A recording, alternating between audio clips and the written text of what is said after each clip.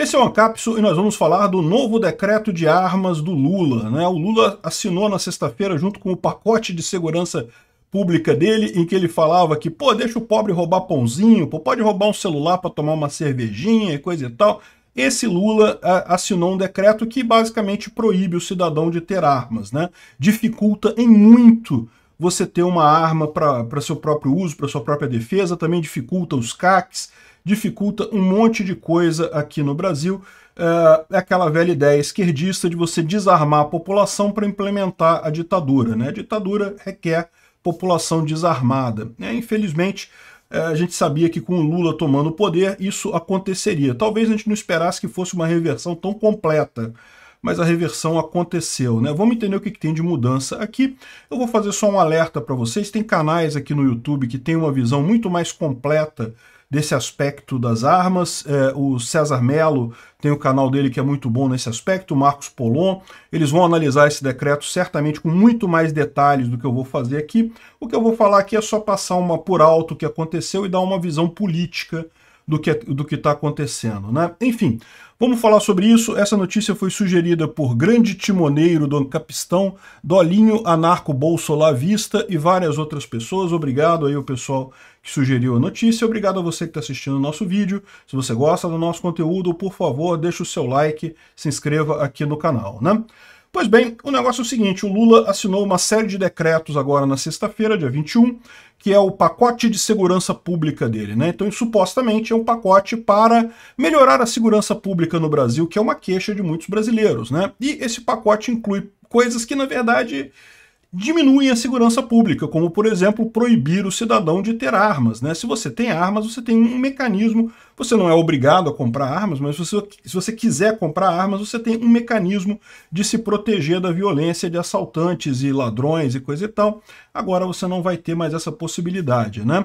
A gente sabe o que está por trás disso, claramente é a política da esquerda, a esquerda Fidel Castro, Stalin, Mao Zedong, todos esses comunistas ditadores antes de implementar a ditadura. Na Venezuela, né? Mesma coisa, o Hugo Chávez fez isso lá também. Todos esses ditadores primeiro tiram as armas com a mesma desculpa. Não é para melhorar a segurança, porque a população armada acaba um dando tiro no outro, o que é absolutamente falso, não tem lógica nenhuma isso daí. Existem algumas mortes acidentais, existem brigas que acabam em morte? Existe, mas é um, é um número extremamente pequeno, é muito menor do que o, o crime organizado de fato as pessoas, os ladrões, os assaltantes, o crime organizado que compra armas efetivamente para usar essas armas contra outras pessoas. Né? Você privar o cidadão de bens de armas, você tá, só está aumentando a insegurança, está diminuindo a segurança, como aliás, diga-se de passagem, fica claro nas estatísticas de mortes violentas, que em 2022 é, é, é, tiveram o menor número desde 2011, quando começou a ser é, medido esse número. Né? Mas vamos ver o que, que foi que o Lula fez no decreto dele. O que, que tem de novidade? O que, que mudou nesse decreto? Né? Ele explica aqui nessa, uh, nessa matéria do Estadão, mas tem também uma, uma, uma tabela que foi liberado justamente pelo Palácio do Planalto, mostrando as mudanças, né? É o, aqui, programa de ação na segurança, né? O Lula quer resolver a segurança. Como? Ajudando os traficantes, ajudando o crime organizado, ajudando os bandidos, né? É, falou que não pode prender quem rouba pãozinho, não sei o que lá, enfim. É o que, é o que há, né? As pessoas votaram nesse cara. É, é, o triste é imaginar isso, né? Então vamos lá, defesa pessoal, como é que era? Pelo decreto do Bolsonaro, você poderia ter até, até quatro armas é, sem comprovar efetiva necessidade. Na verdade, é, era a questão de a comprovação presumida. Né? Você descrevia que você tinha necessidade isso era presumido como válido. Né? Agora não, agora são duas armas e você tem que comprovar que você precisa. Ora, para mim, dizer eu moro no Rio de Janeiro já deveria ser é, é, é, o suficiente, né? eu preciso de uma arma. Né? Mas enfim, aparentemente aqui para o pessoal não conta. E também a munição caiu de 200 munições por arma para 50 por arma por ano. Né? É, é, também diminuiu o número de armas de caçadores, atiradores e colecionadores, os famosos CACs. Né? É, repara que são coisas diferentes. Né? A, a, defesa pessoal é quando você compra uma arma para defesa pessoal. O CAC você compra uma arma porque você é um colecionador, um atirador ou um caçador. Então é, você tem direito a mais armas e coisa e tal. É, é, é, o que tinha realmente crescido, eram os CACs aqui no Brasil, né? A defesa pessoal, você tinha que passar pela Polícia Federal, o que é complicado, né? Ah, isso é outra mudança, agora tudo passa pela Polícia Federal, ou seja, tudo ficou mais complicado de se obter, né? Enfim, é, diminuiu a quantidade de armas, a quantidade de munição, diminuiu os calibres permitidos, então, por exemplo, armas é, 9mm, .40 e .45 ACP passaram a ser, voltaram a ser uso restrito, né? Você podia comprar essas armas antes, agora não pode comprar mais. Eu não sei como é que vai funcionar com o pessoal que comprou essas armas e tem essas armas agora. É, o que, que, vai acontecer? Vão ter que devolver? Não sei como é que vai funcionar isso, né? Enfim, uh, agora não tem mais o porte de trânsito. Como você é um caçador, colecionador ou atirador esportivo, né, você tinha o direito de levar a sua arma até o clube de tiro. Então, desde que você estivesse no caminho do clube de tiro, você podia estar com a sua arma no carro, desmuniciada e coisa e tal, mas você podia estar com ela no carro. Agora não tem mais isso. Em tese, você vai ter que fazer uma emissão de guia de tráfico é, aos atiradores, colecionadores e caçadores, toda vez que você for ir com a sua arma da sua casa até o clube de tiro, você tem que emitir a guia de tráfego para é, fazer esse transporte. Né?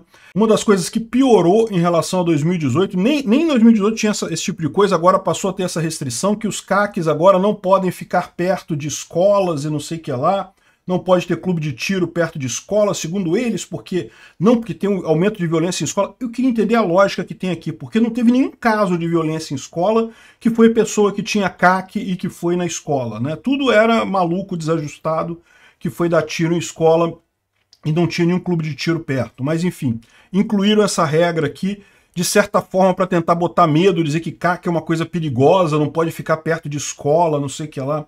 Enfim, a distância tem que ser superior a um quilômetro em relação a estabelecimentos de ensino públicos ou privados. Isso daqui é complicado. Numa cidade como Rio de Janeiro e São Paulo, que tem milhares de escolas para tudo quanto é lado, você achar um lugar que esteja a um quilômetro dessas, dessas escolas vai, vai tornar muitos clubes de tiro aí é, impossíveis, né? Como eu já tinha falado, todo o controle agora passa a ser pela Polícia Federal. Né? Antes, os, o Exército ficava com a parte de caçadores, colecionadores e clubes de tiro, né? E uh, o, o, a Polícia Federal com a defesa pessoal. Então agora passa a ser tudo a mesma, tudo na Polícia Federal.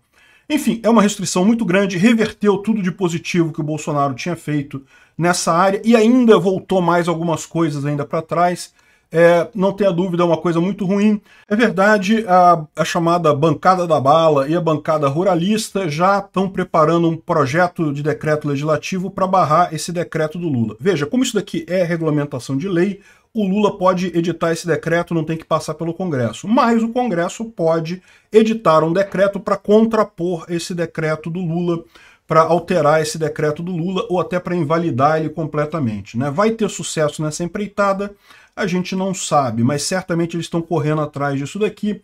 É, o objetivo do novo decreto, evidentemente, é manter o controle social da, da, da população, ou seja, evitar insurreição. A, a, expectativa é que o Lula aumente cada vez mais a repressão aqui no Brasil.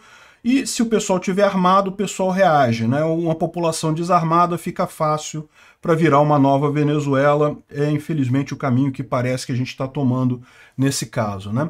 E tudo isso é, contra o fato de que, com o aumento da, da quantidade de armas, olha só, eles botam um gráfico aqui dizendo que olha só que absurdo a quantidade de armas novas que foram registradas em 2022, né? E esquecem de dizer que, olha só, as mortes violentas no Brasil em 2022 caiu mais uma vez, é mais uma queda de, do número de mortes violentas, é um, um, dos menores, um menor número desde 2011, quando começou a ser medido é, esse, esse indicador. Ou seja, mostrando que com a população com mais armas, a segurança aumenta. O número de mortes violentas diminui com mais armas na população. Por quê? Porque você equilibra a coisa. Você tem os ladrões com armas, o pessoal, esse pessoal não é afetado por decreto nenhum, porque já estão fora da lei, mas você passa a ter o, o cidadão armado também para responder a esses ataques. Então isso diminui a violência como um todo, né? Ao contrário do que querem fazer crer os ditadores de esquerda por aí, que não, que a arma aumenta a insegurança e coisa e tal, temos que fazer uma coisa para aumentar a segurança. Aliás, isso aqui foi lançado justamente num programa para aumentar a segurança da população, sendo que isso daqui diminui a segurança da população. É mais do que óbvio que é uma tentativa de uso para controle social. É o que diz o Benê Barbosa aqui. Eles querem realmente é deixar o povo quietinho, caladinho, para implementar o comunismo deles aqui. Obrigado por assistir o vídeo até o final. Além de curtir, compartilhar e se inscrever no canal, considere se tornar patrocinador com valores a partir de R$ 1,99 clique no botão Seja Membro abaixo para saber as condições e vantagens de patrocinar o canal. Mais informações sobre o nosso projeto, visite nossos sites indicados na tela.